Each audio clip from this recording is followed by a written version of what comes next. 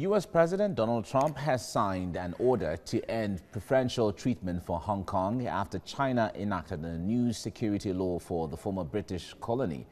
Now, uh, President Trump says that Hong Kong will be or will now be treated the same as mainland China. He also signed bipartisan legislation to impose sanctions on Chinese officials who crack down on rights in Hong Kong. Hong Kong has so far enjoyed unique freedoms not seen in mainland China, but uh, many people in the territory fear the new security law imposed by China will uh, bring an end to Hong Kong's special status agreed under a 1984 pact between China and the United Kingdom.